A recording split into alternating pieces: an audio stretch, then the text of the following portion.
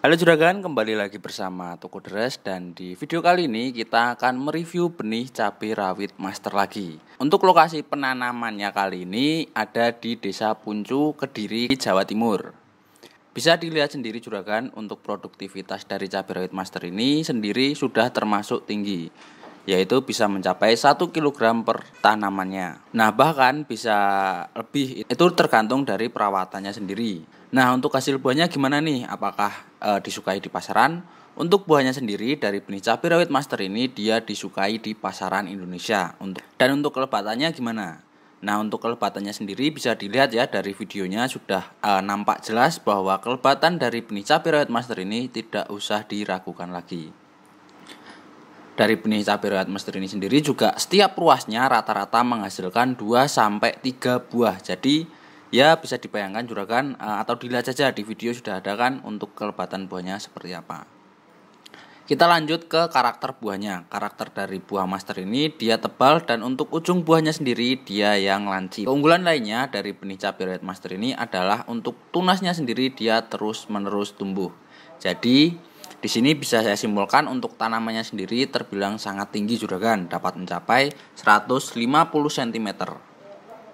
Nah, itu tadi kita bahas tentang karakter buah, terus untuk pasaran dan e, yang lainnya. Sekarang kita lanjut ke keunggulan yang selanjutnya. Selain di hasil panennya yang bagus, cabai rawit master ini juga sudah toleran terhadap virus antraknos. Silahkan bagi juragan di sini yang lahannya bermasalah dengan virus antraknos bisa coba benih cabai rawit master ini. Dan buktikan sendiri ya juragan untuk ketahanan terhadap penyakit antraknosnya itu eh, seperti apa? Apakah memang tahan atau tidak? Daripada juragan penasaran mending dicoba saja juragan. Tidak ada salahnya juga. Dan di video juga bisa dilihat juragan untuk buah yang terserang penyakit antraknos sangat minim eh, atau bisa dikatakan bahkan tidak ada yang terserang Nah, selain tahan terhadap virus antraknos, cabai rawit master ini juga sudah tahan terhadap virus Gemini atau biasa disebut penyakit bulai.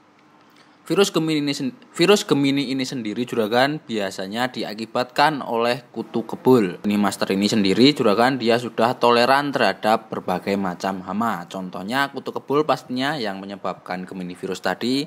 Terus uh, master ini dia juga sudah tahan terhadap trips dan yang terakhir adalah tahan terhadap hama tungau.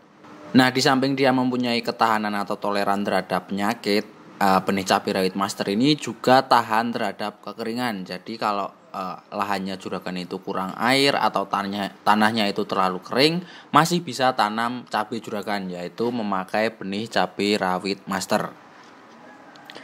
Nah, di sini saya tarik kesimpulan atau saya ambil kesimpulan ya juragan dari benih cabai rawit master ini untuk keunggulannya. Yang pertama di produktivitasnya, dia dapat mencapai 1 kg bahkan bisa lebih tergantung perawatan.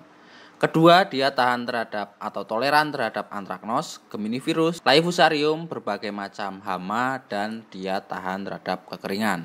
Kalau dilihat e, lagi dari ketahanan penyakit, benih cabai rawit master ini dia cocok ditanam di dua musim, bisa ditanam di musim hujan dan bisa ditanam di musim kemarau.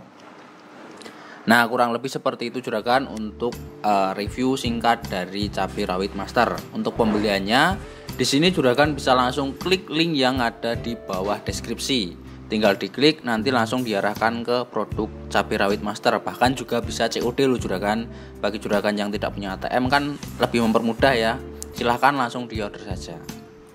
Oke juragan, sekian video dari saya. Jika ada yang ingin ditanyakan, juragan bisa komen di kolom komentar seperti biasa. Jangan malu-malu ya juragan.